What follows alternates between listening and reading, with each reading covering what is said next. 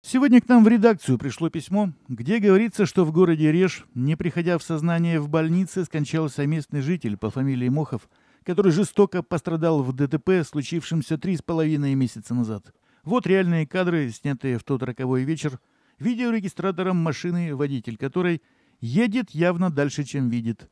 То есть понятно, что трое мужчин, шагавших в темноте по обочине спиной к движению, тоже поступали не самым осторожным способом, но они-то, по крайней мере, ничьей жизни при этом не угрожали. А вот тот, кто рулит источником повышенной опасности, просто не имеет права рисковать. Либо включать дальний, либо тащить с черепашьей скоростью, чтобы в случае чего успеть остановиться в пределах освещаемого куска дороги.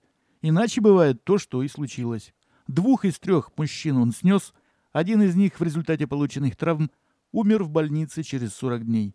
Его родственники сейчас спустя два месяца после его смерти естественным образом волнуются, как бы виновник ДТП не ушел от ответа уже с учетом новых обстоятельств в его деле и пишут нам тревожные письма с опасением насчет того, что следователь такой-то НП из Режевского УВД заволокитит дело.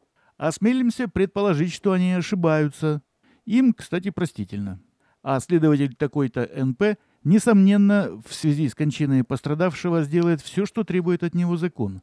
И тут никакого иного выбора у него нет и быть не должно.